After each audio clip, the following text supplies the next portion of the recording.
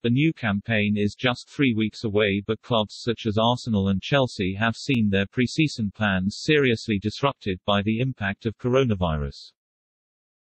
Premier League clubs are reportedly set to insert clauses in player contracts which will make taking the coronavirus vaccine compulsory.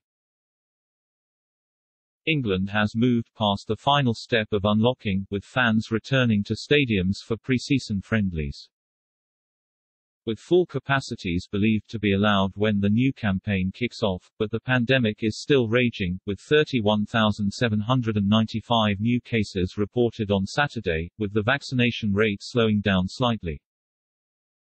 Nearly 90% of UK adults have received their first dose of the vaccine, with 69% having received both doses and as a result being fully vaccinated against the disease. While those are welcome figures following 18 months of lockdowns, the Daily Mail report that there is concern among top-flight and EFL clubs about a low take-up of the jab among players. As a result, it is stated that a number of teams are now considering making vaccination against COVID-19 a condition of employment. While the UK government has made it clear they want all players and coaching staff to have received both doses by October, they are currently letting the clubs take the lead. Many teams are actively encouraging their squads to get jabbed. The Mail claim that some are weighing up stronger measures to get their players vaccinated.